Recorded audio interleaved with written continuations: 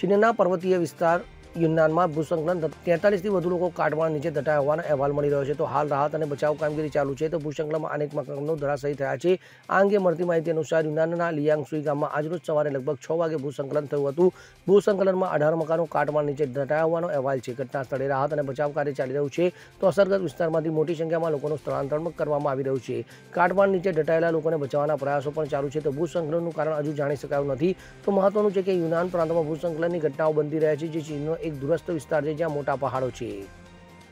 bureau report CN twenty four news હવે જુઓ દેશ દુનિયાની તમામ ખબરો તમારી આંગળીના ટેરવે ઉઠાવો મોબાઈલ અને ગૂગલ પ્લે સ્ટોર પરથી ડાઉનલોડ કરો અમારી CN twenty four news mobile app